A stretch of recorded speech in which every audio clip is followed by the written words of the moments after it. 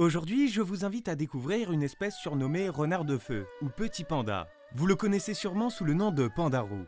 C'est un mammifère protégé et en danger d'extinction. Malgré son nom, il n'est pas proche du panda géant. Il est le seul représentant de son espèce, les éluridés, qui se rapprochent plus de la famille de la belette ou du raton laveur que du panda. Le pandarou fait à peu près la taille d'un chat, de 50 à 64 cm de long avec une queue qui peut mesurer jusqu'à 59 cm, et un poids allant jusqu'à 6 kg. C'est un animal solitaire, principalement actif du crépuscule à l'aube, ce qui le rend largement inactif pendant la journée. Le pandarou est originaire de l'Himalaya et du sud-ouest de la Chine, et préfère vivre dans les forêts montagneuses mixtes, spécialement riches en bambou. On dit qu'il est arboricole. Le petit panda vit entre 2200 et 4800 mètres d'altitude, et habite des zones aux températures modérées entre 10 et 25 degrés.